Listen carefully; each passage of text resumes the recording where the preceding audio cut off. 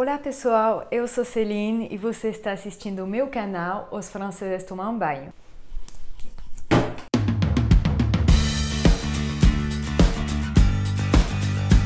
E hoje você talvez já entendeu, vamos falar sobre as frutas em francês, les fruits.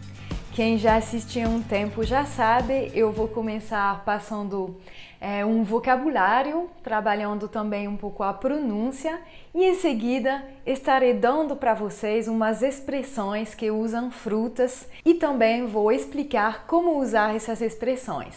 Vamos lá! Antes de começar, eu queria dizer duas coisas. Eu não sou especialista em fruta. E segunda coisa, a lista das frutas que eu vou passar nessa, nesse vídeo não é completa, né? Você imagina bem que eu não posso dar todos os nomes de todas as frutas do mundo. E vamos começar então como que você fala em francês uva.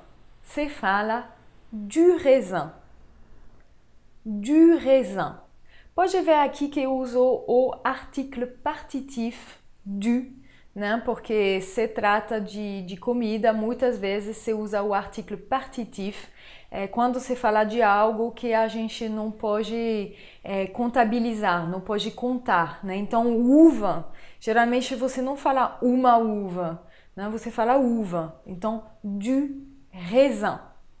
Já se você quer falar do, do grão de uva, né? Em francês se fala un grain de raisin un grain de raisin.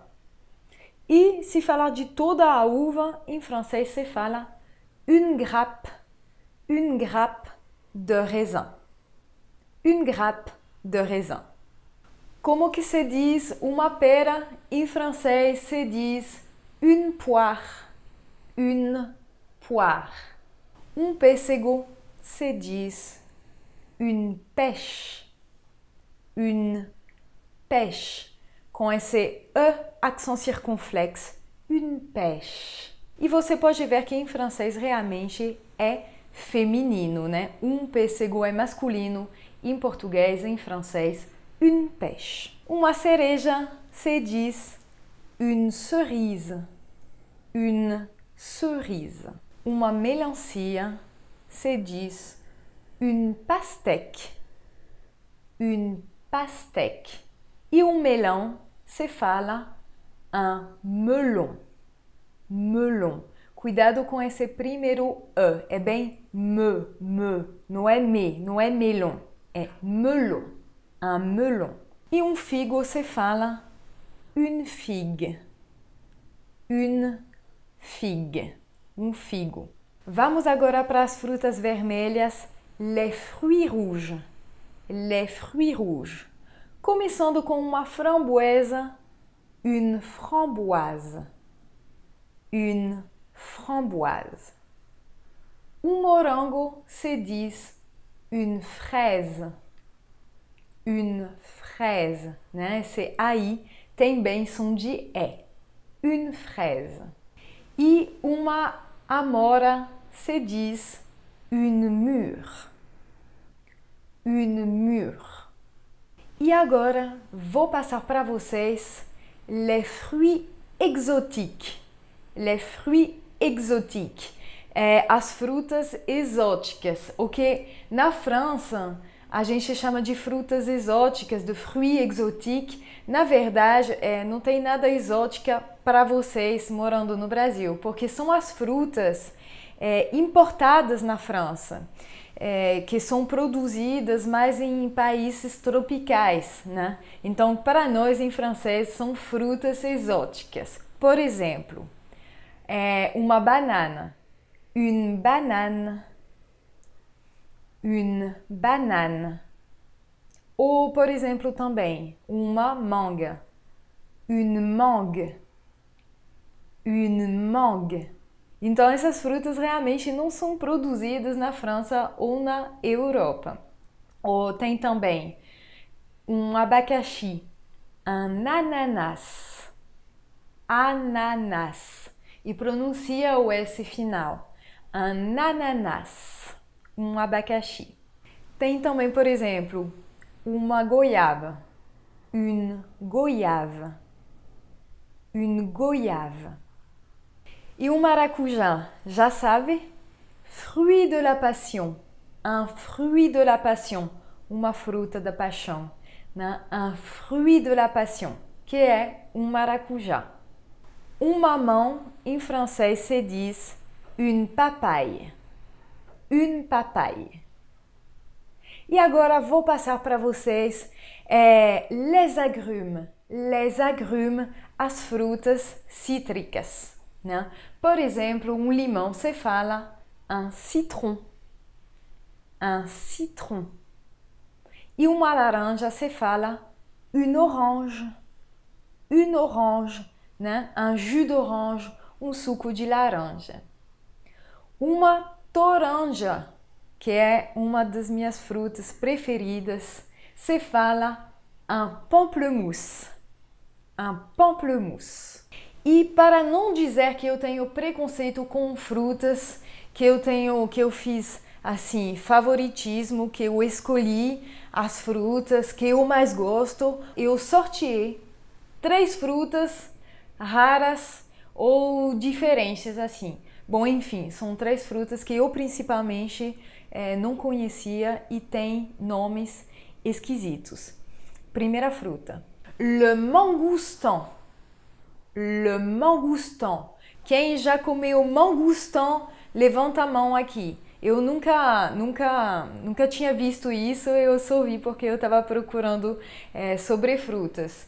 É, diz a internet, e a internet sabe de tudo, que é uma fruta da Indonésia, produzida na Índia, na China, na Tailândia e na França também. Eu vi que França é um produtor tipo número 100 né? É, mas produz essa fruta. Então, é, quem conhece, eu sou curiosa, eu queria saber, inclusive quero saber se acha isso no Brasil. Quem sabe eu podia experimentar uma coisa nova. Segunda fruta que eu escolhi para vocês, que eu sorteei, que eu sorteei para vocês. Lakebi. Lakebi é, é japonês, né? Lakebi e é uma fruta roxa Terceira fruta, e olha só, é considerada é, fruta mais bonita do mundo. La ala. Eu acho que estou pronunciando certo, né? La ala é uma fruta que vem do Havaí, né? Parece que lá tudo é bonito. É, então essa fruta realmente é bonita, só não sei se é muito boa, né? É, também quero saber a, a opinião de vocês sobre isso. É isso, gente. Com, com essas frutas, eu sei que tá faltando muitas. Realmente, eu não ia passar assim é, uma hora dando os nomes de todas as frutas, mas realmente incentivo vocês a procurar. E eu vou terminar esse vídeo, claro, fazendo o que mais gosto, passando para vocês umas expressões que usam nomes de frutas em francês. Avoir la pêche. Avoir la pêche, literalmente, ter o pêssego. Isso significa estar com muita energia, se sentir super bem. Pode usar assim: Aujourd'hui, j'ai vraiment la pêche. Hoje eu realmente estou super bem, estou cheia, cheio de energia. Aujourd'hui, j'ai vraiment la pêche. Às vezes também alguém pode chegar para você e falar: Alors, la pêche? E aí? Tá tudo bem? Você tá muito bem? Alors, la pêche? Uma expressão agora com maçã é être haut comme trois pommes. Ser alto que nem três maçãs. Ou seja, você já colocou três maçãs uma em cima da, da outra? Então, não é muito alto. Então, être haut comme trois pommes significa ser baixo, ser pequeno. E você pode usar desse jeito. Il est haut comme trois pommes, ton professeur. Il est haut comme trois pommes, ton professeur. Ele é muito baixo, seu professor. Ele é muito baixo, seu professor. Il est haut comme trois pommes, ton professeur. Outra expressão agora com pera. Prendre quelqu'un pour une poire. Prendre quelqu'un por une poire é fazer alguém de pera, que na verdade significa fazer alguém de bobo. Por exemplo, pode usar assim: Je sens qu'il me prend pour une poire. Je sens qu'il me prend pour une poire. Eu sinto que ele está me fazendo de boba, bobo, né? Je sens qu'il me prend pour une poire. Avoir le melon, literalmente ter o melão, é, ou seja, ter uma cabeça enorme. Significa, na verdade, estar se achando. Você pode usar assim: Il a le melon depuis qu'il est directeur. Il a le melon depuis qu'il est directeur. Ele tem o melão é, desde que ele é, é, diretor, desde que ele passou diretor, né? Ele ficou se achando. Il a le melon depuis qu'il est directeur. Última expressão que eu também acho bem legal, à la noix.